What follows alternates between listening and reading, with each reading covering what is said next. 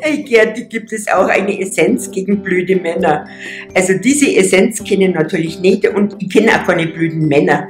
Die haben halt bloß ein bisschen schräg drauf mitunter, aber die muss man natürlich auch verstehen, weil wir Frauen sind, wir auch nicht immer flott, wir sind auch manchmal ein bisschen blöd. aber im Prinzip sind sie ja alle ganz okay.